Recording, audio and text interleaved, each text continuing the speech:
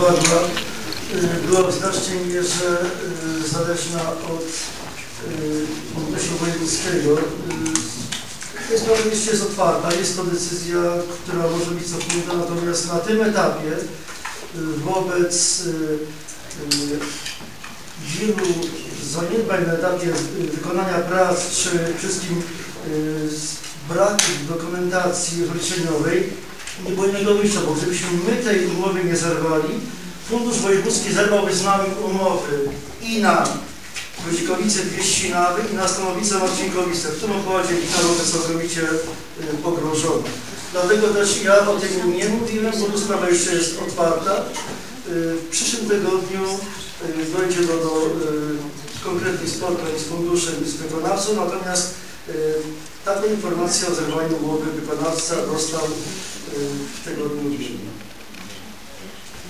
A jak się ma to dalej?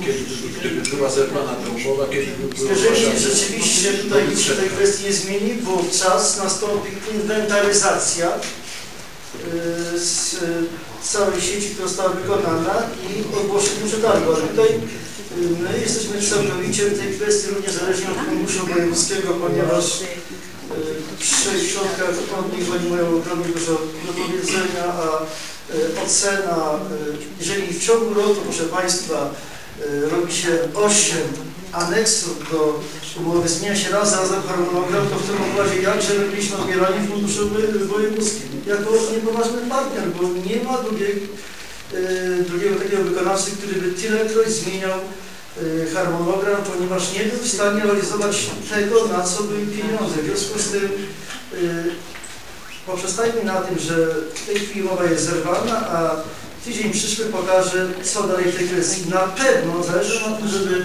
zadanie było jak najszybciej kontynuowane, y, ale raczej na pewno nie jestem wykonawcą. Wczoraj komisję, można było Radę poinformować. Można było poinformować, natomiast ja powtarzam, że nie o wszystkim mogę mówić. Powtarzam raz jeszcze, że gdybyśmy my tej umowy nie zerwali, Fundusz Wojewódzki zerwałby z nami. I co wtedy by było? Wtedy oczywiście wójt Wojciechowski byłby najgorszy w układzie warszawskim, ponieważ gmina traci dotację y, na kanalizację. Powtarzam, że nie o wszystkim można mówić od razu. Czy w tym momencie nie stracimy, gdy wybierzemy nowego wykonawcę? Nie stracimy. Nie stracimy. Oczywiście, że tak. Oczywiście. Dobrze, dziękuję. Ja tylko, przepraszam, tylko jeszcze do- dopowiem tyle, że faktura ostatnia, którą złożył wykonawca, nijak ma się do tego, co wykonał. E, Inspektorzy nadzoru e, pracują nad materiałem, ale absolutnie nie mogą się doszukać tej pracy, która została wykazana na papierze. Panie Wójcie, ja wczoraj przypadkowo rozmawiałem z jednym, nie wiem, jego kierownikiem jakimś.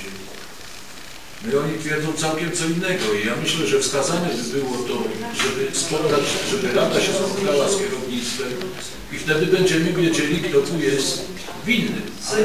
Nie ma innej sytuacji, nie może być e, wykonawca mówić cokolwiek innego poza faktem, że nie dotrzymywał e, terminów i nie dotrzymywał zakresu e, robót. Panie Wójcie, wykonawca twierdzi, że byście też występowali z aneksem o przesunięcie harmonogramu.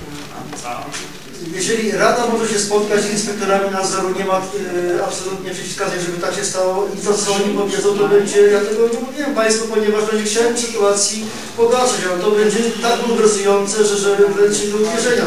To co przedłużają wykonawcy. Ale jeszcze, że czy mogę w ogóle?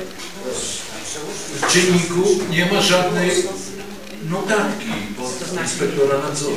Ale mamy wszystko, mamy tyle, ale mamy tyle e, e, e, z protokołów z każdego posiedzenia, co deklarował wykonawca, co zrobił, tu nie ma o czym mówić, proszę Państwa. Przecież nikt, przecież, przecież, czy, czy ja wyglądam na wariata, który zerwał umowę tylko dla własnego kaprysu, to chodziło o dobro gminy, bo gdybyśmy my tego nie zrobili dzisiaj, bylibyśmy już, e, mielibyśmy pozamiatane, ponieważ Fundusz Wojewódzki zerwałby z nami umowę, krótko. Pieniędzy by nie było. Dobrze, czyli, czyli rozumiem, że na początku stycznia e, dostaniemy informację w tej sprawie. Oczywiście, że tak. Dobrze, dziękuję. Czy jeszcze jakieś?